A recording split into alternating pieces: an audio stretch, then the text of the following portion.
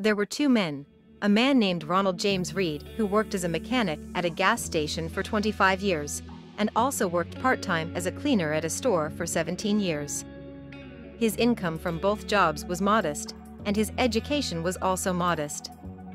The second man, Richard Fuscone, held a master's degree in business administration from Harvard University and was an executive at a large company.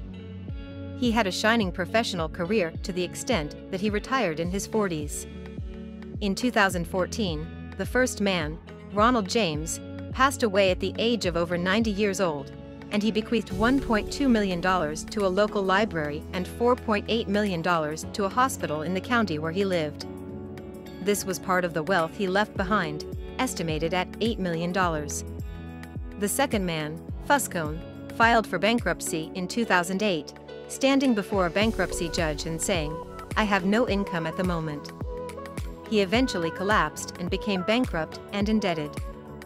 How did a man in a modest profession with an ordinary education leave behind a large sum of money, while a man with a high financial education and a distinguished professional career ended up bankrupt? Ronald James Read did not win any lotteries or inherit any money during his lifetime. He saved as much money as he could and invested it in established companies, leaving his wealth to accumulate over the years. Richard Fuscone borrowed large sums of money to expand his house with 11 bathrooms, two swimming pools, seven garages, and elevators, with a maintenance cost of up to $90,000 per month. After the 2008 crisis, Fuscone went bankrupt due to high debts and illiquid assets. Can we hear similar stories in other fields? It is impossible to imagine a story talking about Ronald, for example, performing a heart transplant operation and being better than a surgeon who graduated from Harvard, or that he was better than Hideki Yukawa in nuclear physics. But why do we hear similar stories in the field of investment? Most of the time, the financial field is known as a science with precise rules and laws, like physics. But Morgan Housel argues that this is not entirely accurate. For example, the reason for the collapse of a bridge can be explained accurately because its construction was based on precise knowledge, which is architectural engineering. Therefore, the reason for its collapse can also be explained accurately. However, the cause of the economic collapse in 2008 cannot be determined with the same precision. So, financial success is not a difficult or precise science, but it is, in fact, a soft skill in which behavior surpasses knowledge. A regular person who knows how to behave can become wealthy, while a financial genius who loses control over his behavior can become a financial catastrophe. This is what explains the success of a person with a modest education and a simple professional career, like Ronald James Read, and the failure of another person with a prestigious financial education and an impressive professional career, like Richard Fuscone. So, what is this soft skill? In 2018, Financial journalist Morgan Housel wrote a report in the Wall Street Journal that outlined the flaws and major reasons for behavior affecting people when dealing with money. He called the report The Psychology of Money. Two years later, he delved deeper into the subject in a book with the same name, The Psychology of Money, which is the soft skill he argues is more important than the technical side of money. In other words, how you behave is more important than what you know. This book is completely different from almost everything written about money, as it starts from the idea that financial success is not simply related to your intelligence, but is closely related to how you behave. And studying money from a psychological perspective gives us a deeper understanding of the reasons for failure and factors of success. From his point of view, investing is not a test of intelligence as much as it is a test of character. The book is divided into several independent ideas that can be read independently. You will find in the description box the timing of each idea if you want to listen to it directly or refer back to it later. Tell us what are the most important ideas that you agree with. In 2006, two economists from the U.S. National Bureau of Economic Research, Ulrike Malmendier and Stefan Nagel, conducted research to find out what people do with their money. Theoretically, people should make their investment decisions based on their goals and the available options, but the researchers found that reality is completely different. investment decisions are made based on other factors such as their experiences in their generation, especially those in their early formative stages of development. Each person from a different generation and different environment has a different view of money and how to spend it. Depending on our era, where we live, and the environment we grew up in, we experience the world of money differently. The difference between a person born in 1970 and another born in 2001, or someone who lived in the Gulf and another in Africa, or someone who lived under an open system and another under a dictatorial regime, will be entirely significant. People vary in their generations, upbringing, and the values they were brought up on. They were born and live in different economies and deal with different labor markets, where luck, opportunities, and incentives vary. Therefore, we learn lessons in different ways and look at money from a completely different perspective. Each person has their unique experience in the world, and what they experience convinces them more than what they learn from another person. That is why each person has their unique financial perspective. A person who grew up in poverty thinks financially in ways that a person who grew up in wealth cannot understand if they tried. When people's views on money are formed in different worlds, their financial perspectives will inevitably vary. What seems logical to you may seem insane to another person, and this difference exists even among people who are very similar. Even the same person may make a wrong financial decision, but it is logical for them at that time. Now let's know how luck and risk play a role in your life and financial success.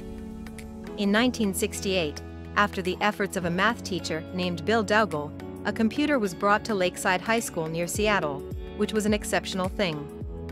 Even in most graduate schools at universities, computers were not at the level of the one brought to high school. There was a 13-year-old boy who was passionate about this device, along with his friend. The computer was not part of the general high school curriculum, so the boys were able to work on it in their free time, on weekends, after school, and even late at night. Soon, they became computer experts. One night in front of the computer, the boy said to his friend, What if we could someday own a computer company? Perhaps this was part of children's talk, or maybe it was a waking dream. A few years later, in 1975, the boys founded that company, and now its value exceeds $1 trillion, Microsoft. The boy was Bill Gates, and his friend was Paul Allen, the co-founder of the company. The author tells us this story as an example of the luck that helped Bill Gates succeed. He says, it is true that he is a very intelligent and very persevering person with a vision in his teenage years in the computer field that most executives in the field did not understand, but his early start helped him a lot in that. Without the computer in his high school, there would have been no Microsoft. Even Bill Gates himself said in a speech to students at Lakeside High School in 2005, if there hadn't been a Lakeside school, there would have been no Microsoft. Without his experience in high school, Microsoft would never have existed. Gates was truly fortunate to have had the opportunity to attend a high school that had a computer in 1961, one in a million chance. Kent Evans was Gates' classmate and close friend. He was also one of the lucky ones who worked alongside Gates in the school's computer lab. Why isn't his name mentioned in the story? Because he never became a partner in Microsoft, as he died in a climbing accident before finishing high school. The chances of this tragedy happening were also one in a million.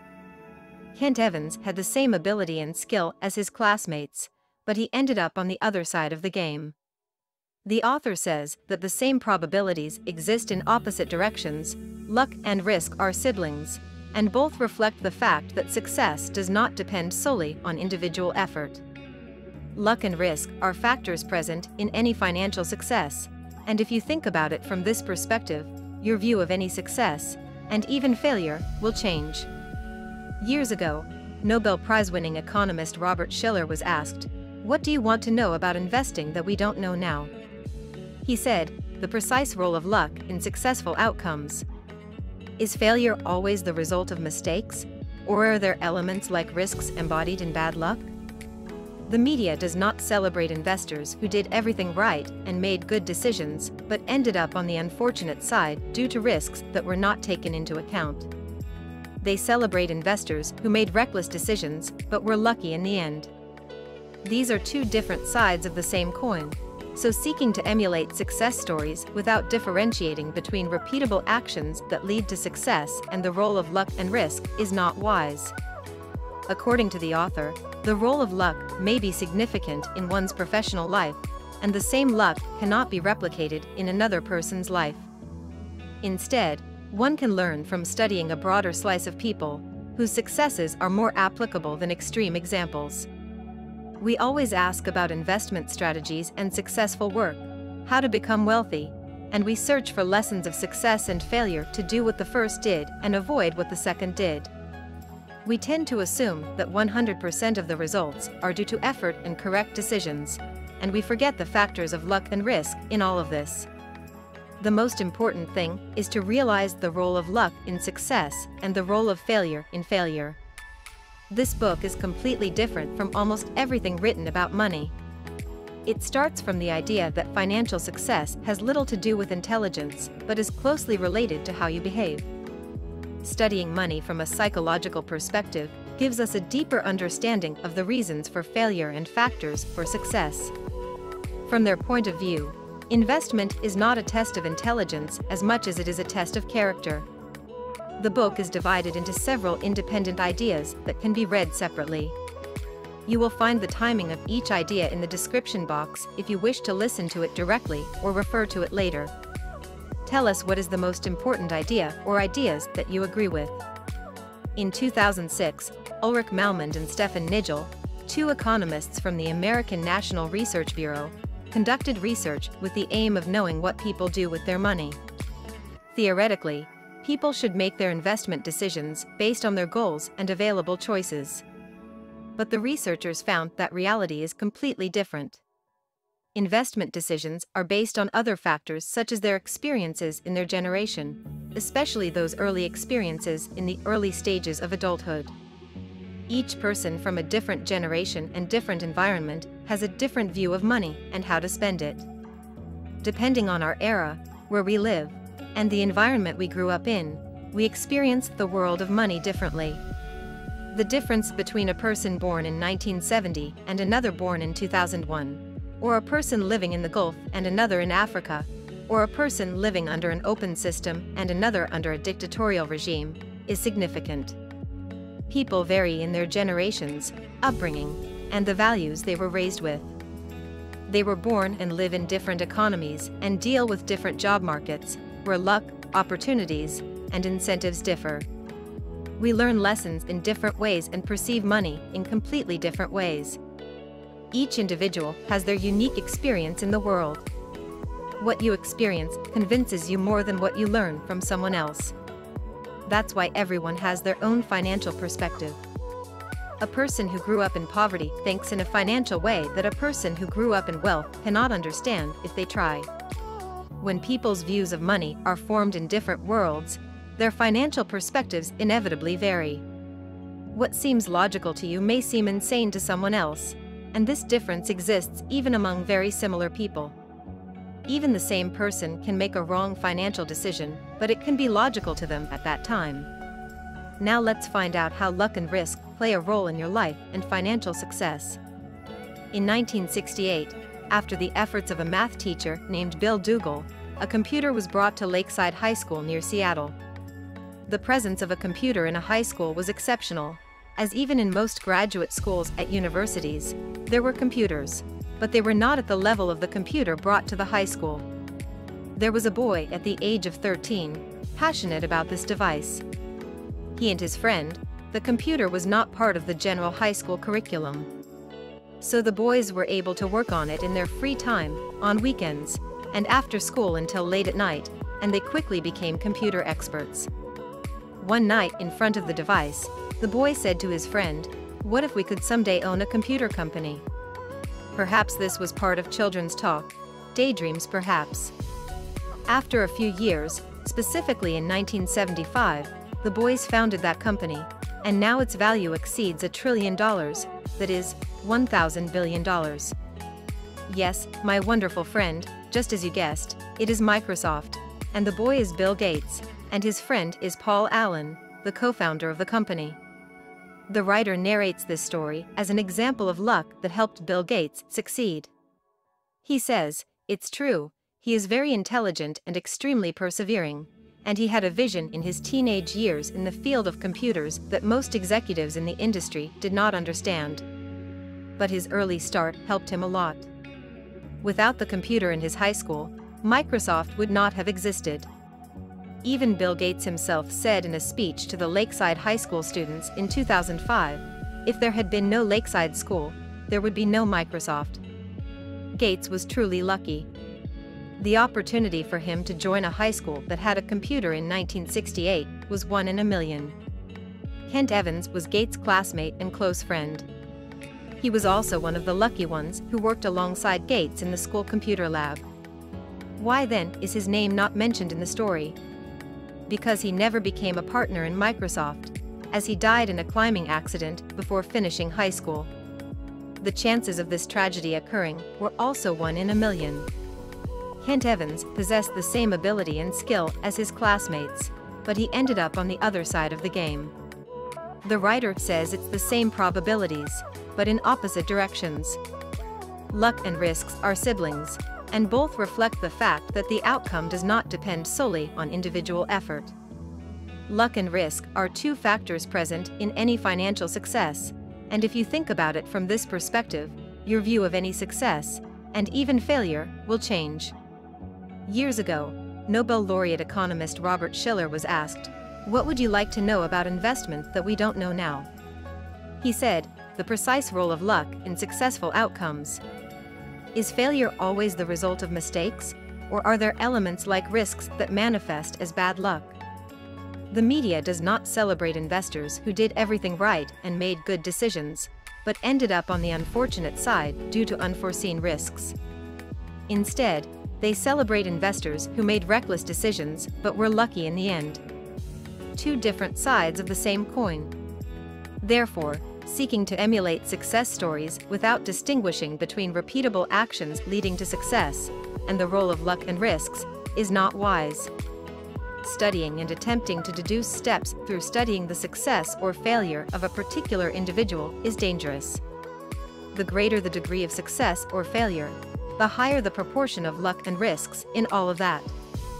Trying to emulate Warren Buffett's investment, for example, is impractical because it is an extreme or exceptional case. According to the author, luck may play a significant role in one's professional life, and the same luck cannot be replicated in another person's life. Instead, we can benefit from studying a wider range of people for successes that are more applicable than extreme examples. We always ask about investment strategies and successful work, how to become wealthy, etc., and we search for lessons from success and failure to do what the former did and avoid what the latter did. We tend to assume that 100% of the results are due to effort and making the right decisions, forgetting the factors of luck and risks in all of that. The most important thing is to realize the role of luck in success and the role of failure in failure. This way, we can forgive ourselves when we fail and start anew. What is good is not as good as it seems, and what is bad is not as bad as it seems. Rajat Gupta was born in India. He was poor and orphaned in his teens, but he achieved great success and became the CEO of McKinsey, a prestigious investment company. When he retired in 2007, his fortune was worth $100 million. In 2008, he wanted to take advantage of insider information about Warren Buffett's $5 billion investment deal to help Goldman Sachs before it was made public. He bought 175,000 shares of the bank to benefit from the stock price increase. This earned him $17 million. It seems easy and wonderful, right? No, it was easy for the Securities and Exchange Commission to indict him and send him to prison because his actions were simply illegal. Bernie Madoff, convicted of running the Ponzi scheme, or the scam of the century, as it is called, which lasted for 20 years, is said to have stolen nearly $50 billion during that time. He had a successful and legitimate investment company that generated annual profits ranging from 5 to $50 million before he turned to fraud. Why does someone who owns hundreds of millions feel such a desperate need for more money? People might understand some crimes committed by those living on the edge of survival, but individuals like Gada and Madoff had everything material, enormous wealth, influence, prestige, freedom, and fame, yet they threw it all away because they wanted more. They had no sense of contentment. The higher the expectations rose with better results, the more they desired. Over time, they lose the satisfaction of their achievements, and the pursuit of progress becomes meaningless. The pursuit of any goal becomes meaningless as well. It becomes dangerous when it turns into greed for more, more money, more ambition, more power, more status, more fame. Their demand for more becomes stronger than their satisfaction, and every step towards the goal becomes a move of inadequacy, prompting them to compensate with more risk-taking. Social comparison often leads investors to look at those who have more than them and convinces them that they need to acquire more. Emotion-driven financial decisions based on how much money others possess can be destructive. Comparing your wealth to others is a losing battle because there will always be someone richer than you. The lesson to learn is that you should not risk what you have and what you need for what you don't have and don't need. If someone has enough to cover their needs and plenty of requirements, they should remember these things to avoid unnecessary risks. Stop chasing the goal as you get closer to it. Don't raise your expectations as your results improve. Accept that you already have enough and avoid comparing yourself to others. There will always be someone earning more than you. Let go of social comparison and say enough. Recognize that the desire for more will lead you to lose everything. Feeling content with what you have, even if it's less than someone else, is the way to win. Remember that things like reputation, freedom, family, friends, and happiness are not worth risking, no matter the gains. Now, let's discuss the extraordinary compound force during the Ice Age, a period in Earth's history when large regions were covered by layers of ice. There are multiple theories explaining the Ice Age, and the most accurate one, according to the author, is the Milankovitch theory. In short, this theory attributes the main cause of the Ice Age to cool summers rather than cold winters. The Ice Age begins when the summer is not warm enough to melt the previous winter's snow. This allows the remaining ice to accumulate, increasing the likelihood of a snow layer persisting into the following summer. This, in turn, attracts more ice accumulation in the subsequent winter, and the permanent ice reflects more sunlight, causing further cooling and more snowfall. This cycle continues, and within a few hundred years, which is short in geological terms, a seasonal ice mass grows into a continental ice sheet. The lesson here is that you don't need immense force to achieve exceptional results. A small start can lead to extraordinary outcomes that defy logic, to the point where you won't believe how simple the beginning was. Continuous growth eventually leads to astonishing results. The author, Warren Buffett, provides a financial example of this principle. I hear you thinking, but the author contradicted himself a moment ago by saying that attempting to mimic Warren Buffett's investment is impractical because it's an extreme or exceptional case. I thought about this as well when reading and summarizing the book, and here's my humble perspective. In reality, it's not possible to replicate Warren Buffett's experience, but we can learn from it and use it as evidence. For example, in this chapter, the author wants to say that the length of the investment period with consistent returns ultimately creates compound force. Many believe that his wealth is entirely due to his good knowledge of investments. But he invested for 75 years, starting at the age of 10. If he had started investing at the age of 30 and retired at 60 with the same annual return, i.e., 22% per year, he would have only accumulated $11.9 million over his lifetime, or only 0.1% of his current wealth. The key to good investment is not achieving the highest returns, it is earning good returns that can be repeated over a longer period of time. Now let's look at the opposite case, which is earning large returns but not being able to maintain them. Getting money is one thing, and keeping it is another. Jesse Livermore was the greatest stock trader of his time. He became one of the richest men in the world during one of the worst months in the stock market. the crash of October 1929. After this tremendous success, and after four years, he took more and more risks. He became so overconfident that he eventually lost everything in the stock market. Livermore went bankrupt, and his last days were tragic, ending in suicide. Most financial books talk about how to achieve wealth, but few of them discuss how to stay rich. Achieving wealth and staying rich are two different skills. The author says that the first requires risk-taking, which is an essential part of making money. But the second requires humility and some fear. Humility means not being deceived by your past successes and accepting that some of what you have achieved is at least attributed to luck and cannot be replicated. And fear, as the author means it, is the fear of losing what you have built at the same speed, which always reminds you not to go too far in taking risks. The author says, if we summarize financial success in one word, it would be staying power. That is the ability to stay for a long time without withdrawing or giving up. Taking on the mindset of staying power in any financial, investment, or business strategy is crucial for two reasons. First, to avoid extreme risks that may result in significant losses, especially sudden and unexpected ones that affect everyone. And second, the importance of compound force, as we mentioned before, which only works if given years and years to grow. Like an oak tree, for example, after one year of planting it, you won't notice significant progress in its growth, but after 10 years, the difference will be enormous, and after 50 years, it will be exceptional.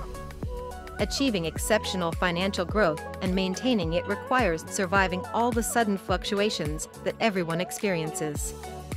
To apply the mindset of staying power, the author advises three things to make yourself financially unbreakable. Instead of focusing on big returns, especially during times of crisis, some opportunities may seem to offer significant returns, but the risks are also significant.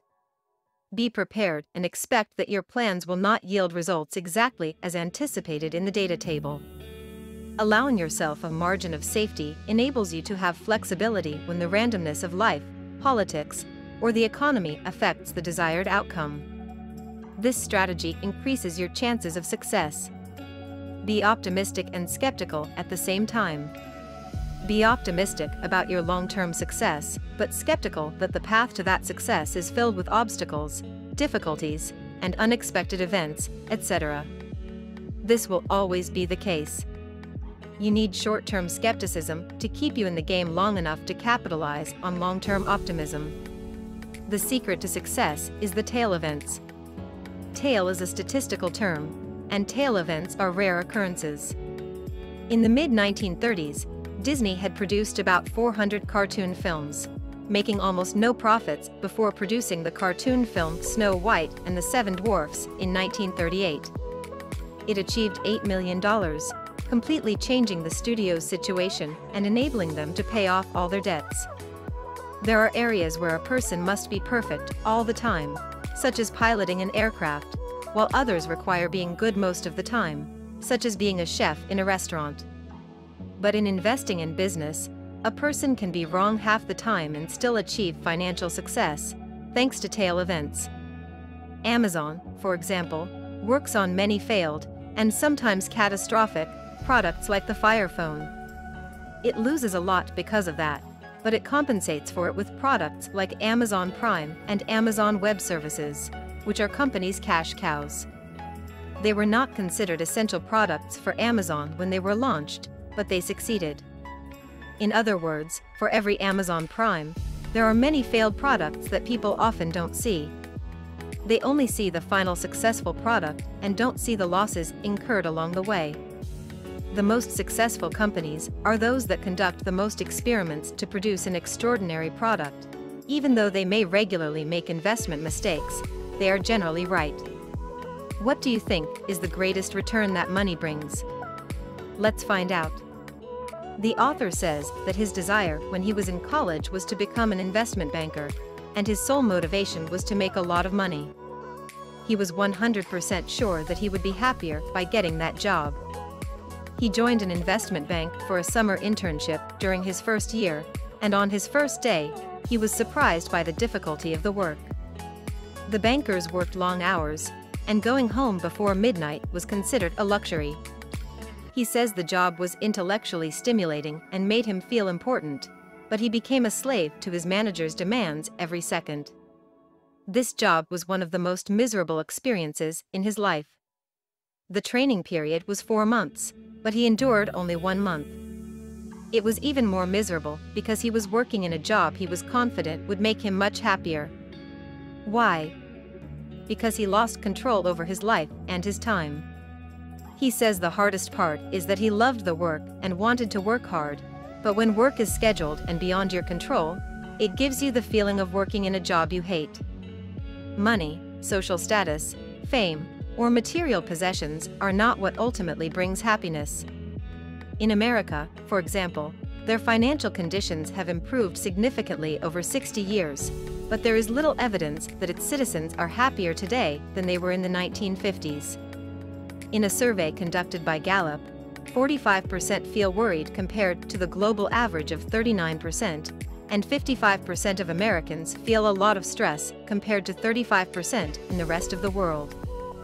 Money cannot buy happiness, but the greatest return it offers is control over your time, to do what you want, when you want, with whom you want.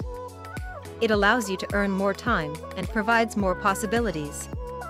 If you have a certain amount of money that can sustain you for a year, you will have flexibility in facing some of life's ups and downs, such as losing a job or experiencing a minor health issue that prevents you from working. Now let's talk about the least return that money brings. The author of the book wrote a letter after the birth of his child, saying, You don't want a luxury car or a big house, but rather respect and admiration from others. These things bring you a sense of validation. However, you won't achieve that, especially from the people you want to respect and admire you. The author learned this after working in a valet parking service, observing how owners of luxury cars enjoyed the attention from others. However, they failed to realize that most people were impressed by the car itself, not the driver. People tend to desire wealth as a signal of their own likability and greatness. Ironically, others don't see it that way. Instead, they think about how much others would admire them if they owned the same things. They use the wealth of others as a standard to become objects of love and admiration. True humility and genuine empathy bring you greater respect than a luxurious car or a big house. Now, let me ask you, do you know the difference between wealth and richness? A person can be rich with an income that allows them to buy a beautiful car or a big house. But the only way to be wealthy, as the author says, is to not spend all the money you have. This is not the only way, but it is the definition of wealth. Wealth needs to be distinguished from richness. Richness indicates current income, such as a person who owns a $100,000 car is a rich person. In reality, we won't have difficulty recognizing the rich because they strive to define themselves as such. But wealth is hidden. It is unspent income, and its value lies in providing options and flexibility to purchase more than what a person can afford at the moment. Wealth is all the things we haven't spent. It's the luxurious cars and big houses we haven't bought, the jewelry and watches we haven't worn. Certainly, the wealthy also spend a lot of money, but even in such cases, what we see is their richness, not their wealth. Their wealth is hidden in assets, accounts, investments, etc. We see the homes they bought, not the ones they could have bought. The world is full of people who appear ordinary but are actually wealthy, and others who appear rich but are on the verge of bankruptcy. Remember this when you judge the success of others and when you set your future goals. But if wealth is what we don't spend, What's the point of it anyway? Sam and John are two brothers who inherited the same amount of money, let's say $1 million, and started investing at the same time. Sam was a better investor and earned a 25% annual return, which amounts to $250,000. John earned a 15% return, which is $150,000 per year. However, Sam had a higher spending rate because his lifestyle increased as his income increased. He spends $240,000 per year, while John, on the other hand, is more efficient in managing his money and spends $100,000 per year. After 10 years, John will have accumulated $500,000. While Sam only managed to accumulate $100,000, despite being a better investor than John and having a higher annual return on his investments. Building wealth is more closely related to your savings rate than your income or investment returns. It is possible to build wealth without a huge income, but it is not possible to build it without savings. However, most people in their pursuit of wealth focus on increasing their income rather than trying to curb their spending first. This is more of a psychological issue than a financial one. Once you meet your basic needs and some comforts or luxuries, your spending will be driven by your pride, to show people that you have money. Your savings are the gap between your income and your pride.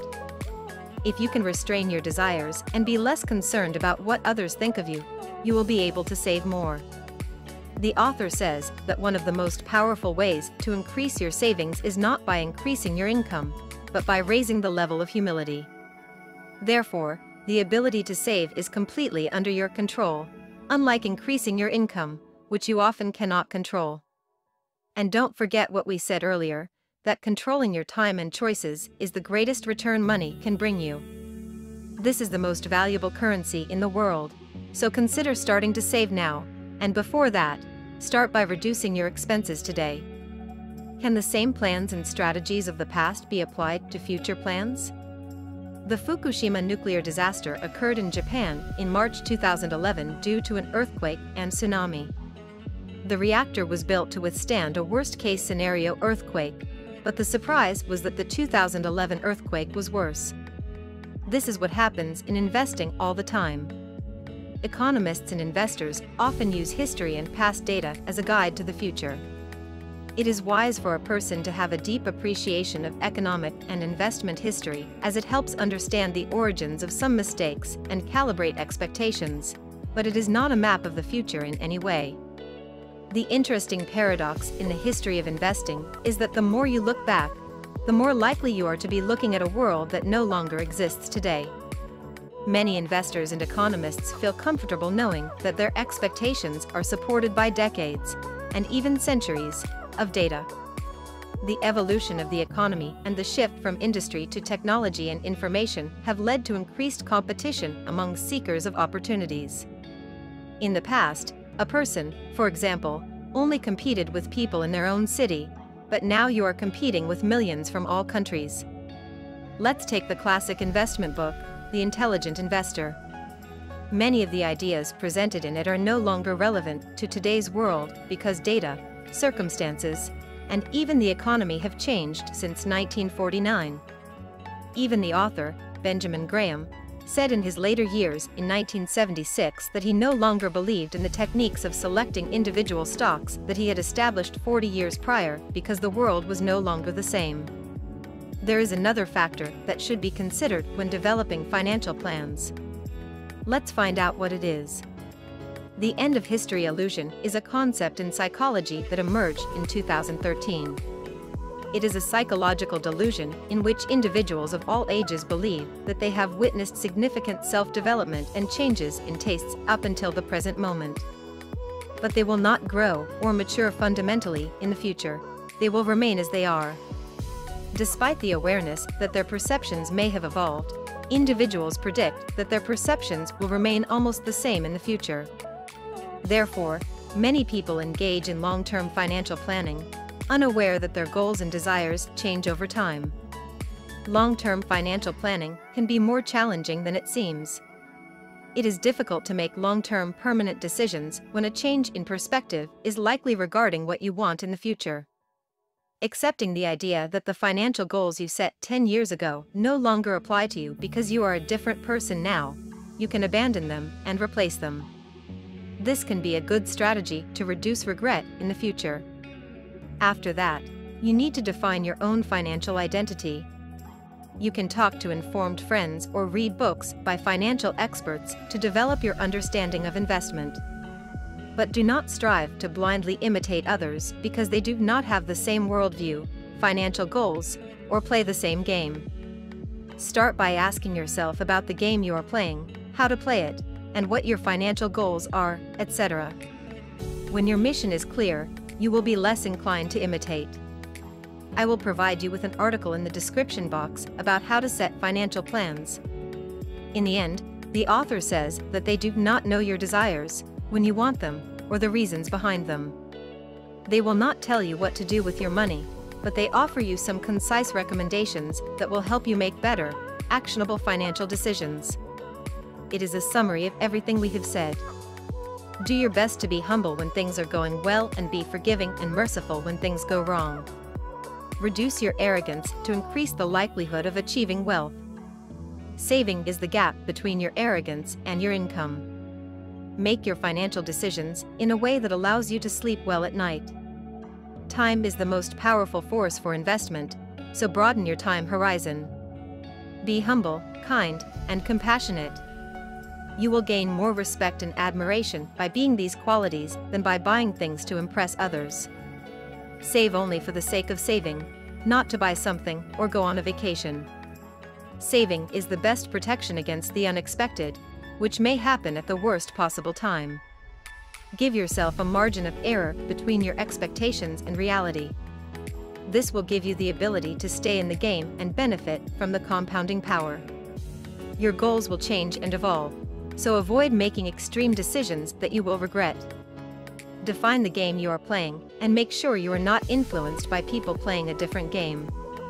In the end, my friends, I hope I have not taken too long, and I hope that money and your pursuit of wealth are a means and not an end. It is a means to bring happiness to those around you, do good, help people, and bring smiles, not an end in itself for arrogance, extravagance, appearance, and injustice. Thank you for listening.